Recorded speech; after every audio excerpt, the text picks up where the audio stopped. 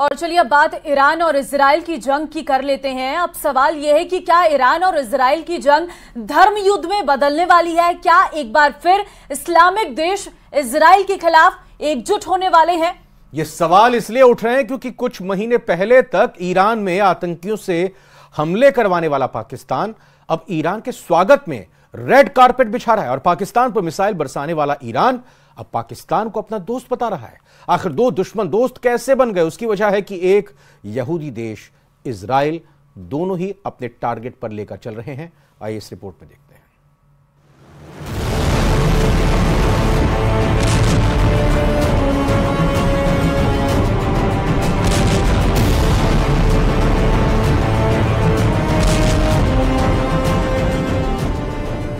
पश्चिमी एशिया में धर्म युद्ध का सायरन बज चुका है।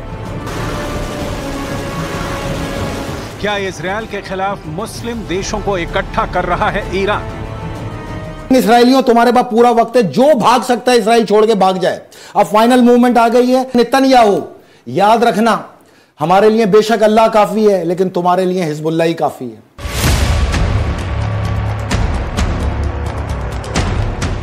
क्या यहूदी देश के खिलाफ दो दुश्मन देश दोस्त बन चुके हैं? कुछ महीने पहले तक ईरान के बॉर्डर पर जंग के हालात थे। पाकिस्तान और ईरान के बीच रिश्ते इतने तल्ख हो चुके थे कि ईरान ने पाकिस्तान के कई इलाकों पर ताबड़तोड़ हमला किया। लेकिन कुछ ही महीनों में हालात बदल गए। और ईरान के राष्ट्रपति सैयद इब्राहिम रईसी का इस्लामाबाद में शानदार स्वागत हो रहा है।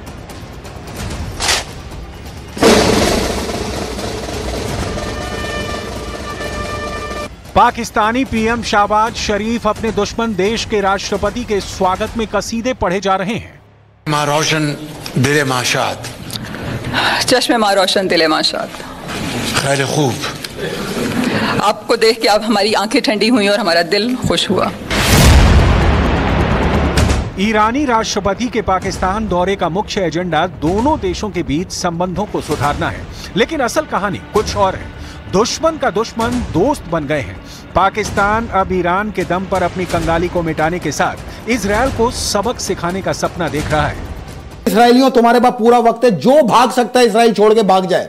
अब फाइनल मूवमेंट आ गई है। इनशाला 1446 हिजरी का चाँद जो है, वो बैतुल मुकद्दस की आज़ादी के साथ तुलू होगा। यहीं पे नमाज़ शुक्राना अदा की जाएगी। इस्लाम का परचम यहाँ नस्ब किया जाएगा। और तुम देखते रह जाओगे, और नितन याद रखना, हमारे लिए बेशक अल्लाह काफ़ी है, लेकिन तुम्हारे लिए हिजबुल्ला ही काफ़ी है। मैंने आपको ये पहले बताया था, हम जाएँगे अंदर और जाएँगे भी गोलान हाइट से। गोलान हाइट फतेह के करीब है। इसराइल को बहुत बड़ी शिकस्त होने जा रही है। एक तरफ़ पाकिस्तान पर बेतहाशा कर्ज है और हथियारों के लिए उसे अमेरिका पर निर्भर रहना पड़ रहा है। लेकिन अमेरिका ने पाकिस्तान को अभी तक बड़ा कर्ज नहीं दिया है और पाबंदी लगाने की धमकी दे रहा है। इसलिए पाकिस्तान ने अपनी भुखमरी, कंगाली और कर्ज मिटाने के लिए ईरान का शॉर्टकट लिया। क्योंकि ईरान से हाथ मिलाने का मतलब रूस से भी समर्थन मिलना। यही वजह है कि अमेरिका की धमकी के बाद भी पाकिस्तान ने ईरान का वेलकम करने की हिम्मत दिखाई है। ये कि अमेरिकन इस विज़िट को कैसे देखेंगे? हम्म। और ये हमारे लिए इसलिए इसलिए इंपॉर्टेंट है सिग्निफिकेंट है क्योंकि हम अपनी इकोनॉमिक रिवाइवल में लगे हुए हैं। इकोनॉमिक रिवाइवल के सिलसिले में ईरानियन सदर के आने से और आ क्यों रहे हैं? पर्पज़ ऑफ़ हिज विज़िट ज़ाहिर है ये बहुत सिग्निफिकेंट है इस सिचुएशन में। एक ऐसी सिचुएशन में जब ईरान एक ईरान पे अमेरिकन प्रेशर भी है ईरान इसराइल कॉन्फ्लिक्ट भी है आपको क्या लगता है क्या ईरानी सदर का ना अमेरिका को नाराज़ कर सकता है? बिल्कुल कर सकता है। जनवरी में बलूचिस्तान के ईरानी सीमा वाले क्षेत्र में दोनों ओर से मिसाइल हमलों ने आपसी तनाव को बढ़ा दिया था। लेकिन जिस तरह से ईरान ने इसराइल पर मिसाइल और ड्रोन हमले किए हैं, उसके बाद पाकिस्तान के हौसले भी बढ़ गए हैं। और वो ईरान के कंधे पर सवार होकर इस्लामिक देशों का खलीफा बनने का ख्वाब देख रहा है। फ़िलहाल एक छोटे से ब्रेक का वक्त हुआ है।